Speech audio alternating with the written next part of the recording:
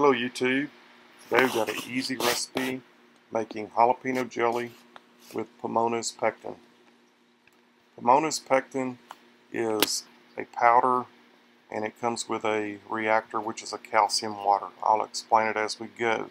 But what we're going to need today are around seven large bell peppers, um, six to eight large jalapenos are enough to make one and one quarter cups of puree because we're going to put this in a food processor and chop it all to pieces.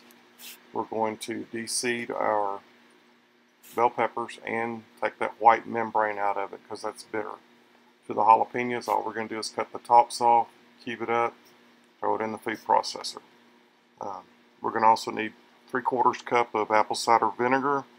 What we're going to do is we're going to chop our bell peppers, they'll chop up pretty good on their own because they've got a lot of water in them. The jalapenos are don't have as much water in them, so I add the apple cider vinegar to the jalapenos. So your end result of your jalapenos will be a total of two cups because you've added three quarters a cup of your apple cider vinegar. We're also going to need a half a cup of lemon juice, and the recipe will be in the comments below. And we're also going to need three cups of sugar with our Pomona's pectin. We're going to add the Pomona's pectin to the sugar.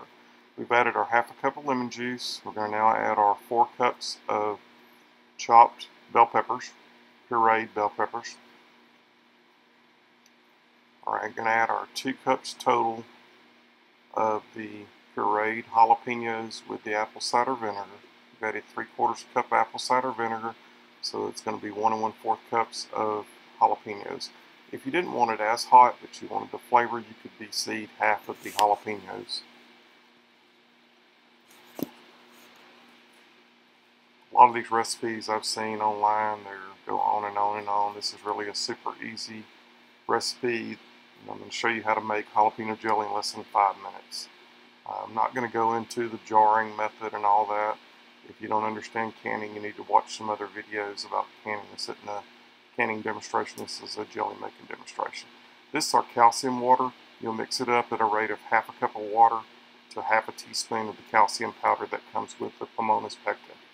We're adding this to the uh, mixture once it starts boiling. We're going to bring this to a rolling boil. And a rolling boil is where you can't stir it down. You can keep continue to stir and it continues to boil and that's considered a rolling boil. Once we get it to a rolling boil, we're going to hold it there for two minutes. We're going to measure out our sugar. We need three cups of sugar, and to our sugar we're going to mix in our Pomona's pectin. We're going to be using seven teaspoons of the Pomona's pectin. If you use seven teaspoons of the pectin, you use seven teaspoons of the calcium water. This is what I store my Pomona's pectin because it comes about like a pound of it, so it's in a quart jar. So you'll add the seven teaspoons to your sugar and you're going to mix this all in with the sugar. This way when you pour it into the jelly that's at a boil, you won't get clumps. This will prevent clumps in your jelly and things not cooking evenly. I've seen a lot of people go to reserve like a half a cup of sugar or something like that and they go ahead and put their sugar at the first. You don't have to do that.